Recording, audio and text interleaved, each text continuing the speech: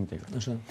Ei au plecat de aici Da. în Germania. Da. În Germania, ei se ascund sau trăiesc Nu, domnul Gonța, ei stau la adăpostul unei justiții germane curate, libere, unei justiții care a declarat, au, uh, prin acte, cu acte în regulă, au declarat că aceste dosare sunt politice. Există hotărâri ale Interpolului care spun că aceste dosare sunt politice.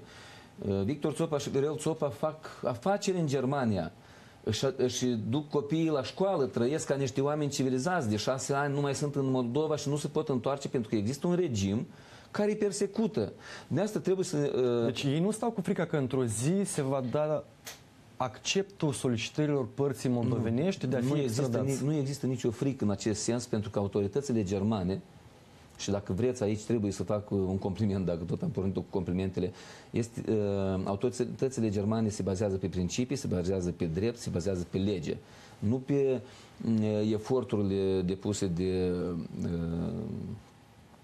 miniștrii de justiție, da? pentru că toți s-au perindat mult și au făcut cereri de extradare, chestii și nu le-a reușit. Nu, ei se bazează pe lege. De asta vă asigur pe dumneavoastră și uh, cel mai uh, interesant că acest regim și toate, tot uh, holdingul lui propagandistic cunoaște acest lucru.